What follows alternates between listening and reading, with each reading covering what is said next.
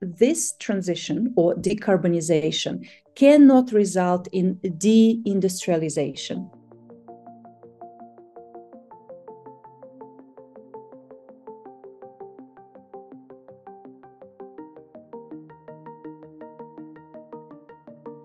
In the current system today, we get fossil fuels, we import them, and we burn them straight away, and then we get some more.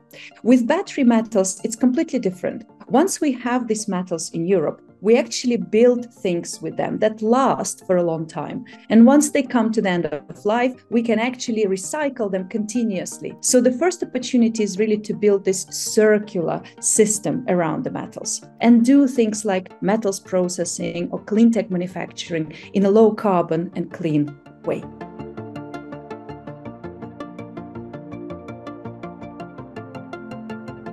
First challenge we need to be aware is whether or not this metals transition will be better and cleaner than the previous metals industries. Will we do waste disposal in a different way, in a safer way? Will communities be on board? A lot of these questions will depend on the policies and measures that governments take today. The second important challenge to raise is also that this transition or decarbonization cannot result in deindustrialization. We need to make sure that people get jobs from these new industries.